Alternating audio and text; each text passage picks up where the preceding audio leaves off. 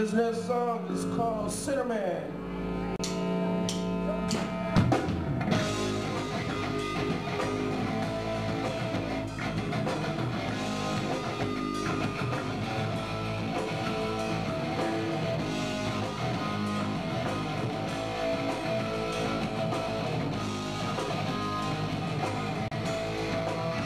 Parents slept